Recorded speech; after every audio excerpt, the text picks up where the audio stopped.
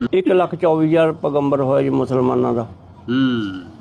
ਆਖਰੀ ਪੈਗੰਬਰ ਹੋਇਆ ਮੁਹੰਮਦ ਸਾਹਿਬ। جی تاکہ چار فرشتے رب بڑے ہیں اجرائیل جبرائیل میکائیل اسرافیل بسم اللہ الرحمن الرحیم السلام علیکم ویورز میں ہوں کاشف اور آپ دیکھ رہے ہیں میرا یوٹیوب چینل تو ویورز یہ ایک سردار کی ایک چھوٹی سی ویڈیو ہے مجھے بہت ہی پسند آئی اس میں وہ اسلام کے بارے میں باتیں کر رہا ہے اس کی بڑی معصومانہ طریقے سے اور بڑے پیارے طریقے سے وہ اسلام کے بارے میں لوگوں کو بتا رہا ہے تو آپ بھی دیکھیے ویڈیو۔ ایک لاکھ چوبیس ہزار پیغمبر ہویا جی مسلمانوں دا۔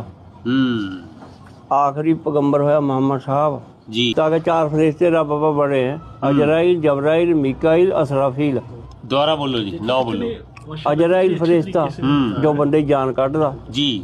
جبرائیل فرشتہ جو بہی لے کا آتا پیغمبراں پاس۔ جی۔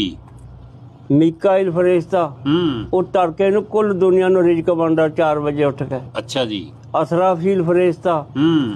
ਉਹ ਖੜਾ ਰੋਜ਼ ਕਿਆਮਤ ਦੀ ਢੀਕ ਵਿੱਚ। ਹੂੰ।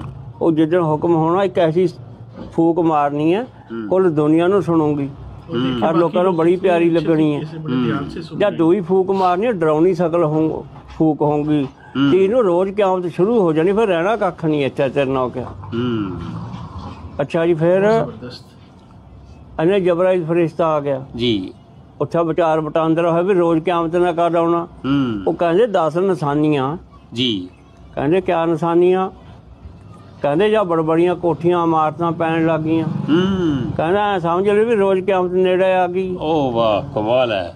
ਕਹਿੰਦਾ ਜਦ ਧਰਤੀ ਸਿਉਨਾ ਉਗਣ ਲੱਗ ਗਈ। ਹੂੰ। ਆ ਚੰਡੀਗੜ੍ਹ ਮਾ ਅਰਬਾਂ ਰੁਪਏ ਬਟਲੇ ਲੋਕਾਂ ਨੇ ਪੱਥਰਾਂ ਦੇ। ਹੂੰ। ਕਹਿੰਦਾ ਜਦ ਧਰਤੀ ਸਿਉਣਾ ਉਗਣ ਲੱਗ ਗਈ ਕਹਿੰਦਾ ਸਮਝ ਰੋਜ਼ ਕਿਆਮਤ ਨੇੜੇ ਆ ਗਈ। ਕਹਿੰਦਾ ਇੱਕ ਗੇਲੀ ਆਉਂਗਾ ਮੈਂ ਸ਼ਰਮ ਨੂੰ ਖਿੱਚ ਲੈ ਜਾਊਂਗਾ। ਇੱਕ ਗੇਲੀ ਆਉਂਗਾ ਇਨਸਾਫ ਨੂੰ ਖਿੱਚ ਲੈ ਜਾਊਂਗਾ। ਹਰ ਘਰ ਦੀ ਬਰਕਤ ਖਿੱਚ ਲੈ ਜਾਊਂਗਾ।